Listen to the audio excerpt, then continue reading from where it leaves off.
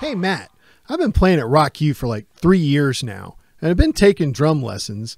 Is there anything else that I can do to enhance my Rock U experience? Seth, I'm so glad you asked. Rockers, tune in for our new project, Extra Credit the Rock U podcast, dropping in November.